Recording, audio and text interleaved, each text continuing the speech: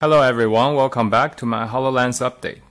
Today I bring you a second episode of HoloLens 3D minimap. I previously made a minimap of my home using the 3D scan mesh here, as you can see.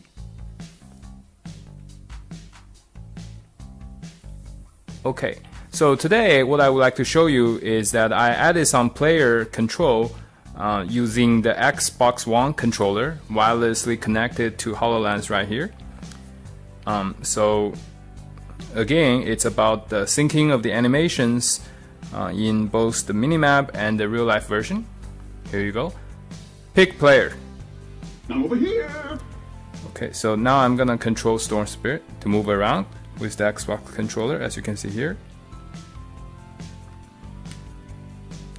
Okay, so I can do some simple motions like jump,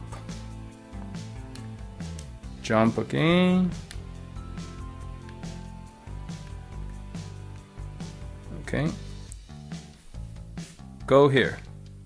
Like the wind. Face me. Let the fun begin. Okay. Uh, if you notice the position is a little bit different, uh, it's because the different geometries, the way the characters interact in real life, and the mini model sometimes can be a little different. Uh, don't worry, I have a way to fix this. Close minimap. Open minimap. As you can see, I basically made that a way to reset all the positions again and the, the rotation as well. So now I will just quickly demonstrate. I will have Storm Spirit, so the crouching through. Okay, he's crouching, crouching. Okay, into the kitchen. Okay, okay, so I'm navigating him from the kitchen out without actually seeing where he is. Now he actually crouched out of the kitchen, as you can see, and he's right there as you see in the minimap as well. A little closer. Okay. And then move around into the living room again. So he's back in the living room. As you can see he's in front of Lina now. Okay. So this makes very intuitive play of any game. Uh, once you have an Xbox controller you can pretty much do it yourself.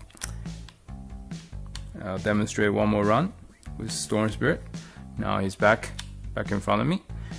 Okay, of course I won't end the scene without a little bit of fun.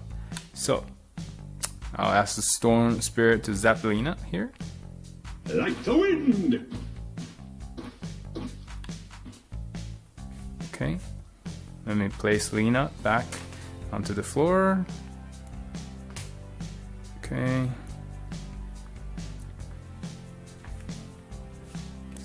Maybe I'll place her here in front of the TV. Face me. Where's the party? Pick player. Face me. Got a light? Okay. So now I'll just press the X button uh, here on the Xbox controller. Looking for me. Oh, he zapped somewhere else. Now, if I zoom in on Lina, Where's the party? see, it was hit. One more time. From this angle.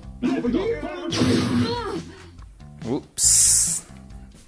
That was harsh. Okay. So yeah, you can run around and uh, zap anywhere you like with the X button now. Okay. Thank you everyone for watching my update and see you guys next time. Bye.